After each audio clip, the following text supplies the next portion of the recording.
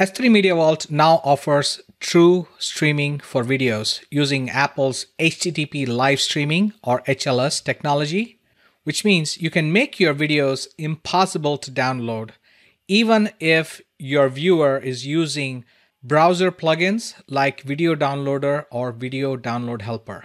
Creating a streaming video file using s3mediavault.com is super easy. Now, the first thing is make sure that you have set up the CloudFront distribution by going to settings page. There's a separate video in the documentation at s3mediavault.com slash doc. Now you come to the media page where you can see all the media files in your S3 bucket. Scroll down and you can see everything is neatly organized here. There's the main folder, all the files in the main folder.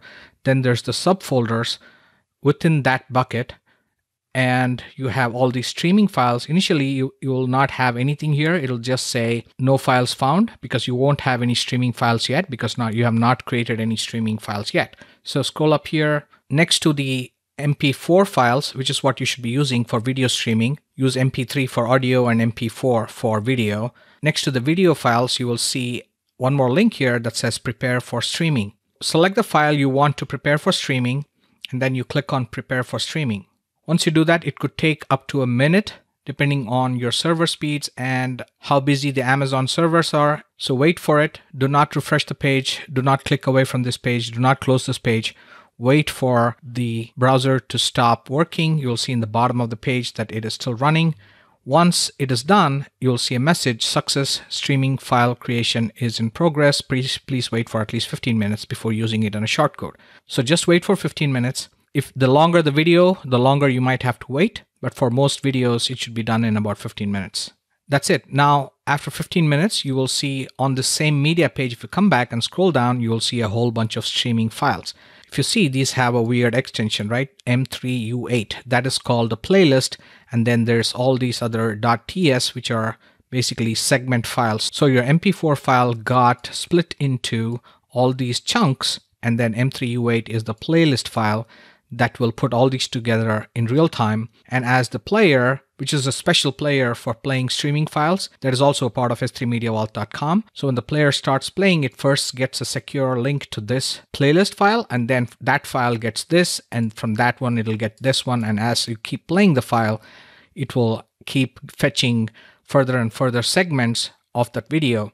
So this was a shorter file, so you can see only a bunch of TS files, seven files here, and then this one is a longer file, which is why you can see a lot more segments here, 44 segments. That's how S3 Media Vault submits your MP4 file to Amazon Media Convert service and then converts it into a streaming file. So once this is done, all you have to do is create a new shortcode. And here it is very simple. Nothing really changes here. You can give it a shortcode name. And from this drop down, this time you'll be picking video streaming player option. And then you'll see once you pick that, the source option, everything else goes away and only CloudFront remains.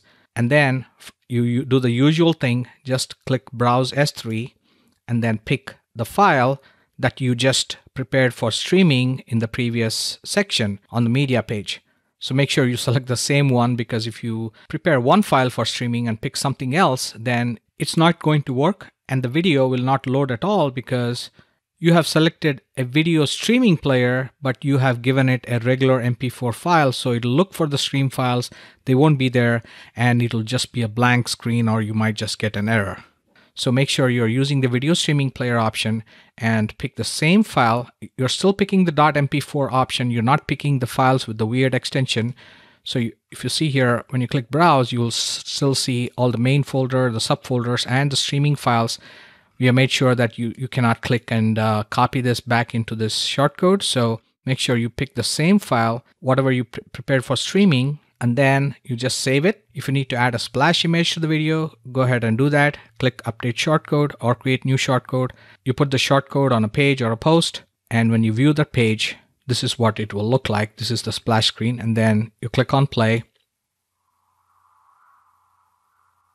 It starts streaming the file and this is a real-time stream so you cannot copy it you cannot download it even if you use a browser plugin like video downloader it will say no videos found or it will list a whole bunch of .ts and .m3 U8 files, which you cannot do anything with.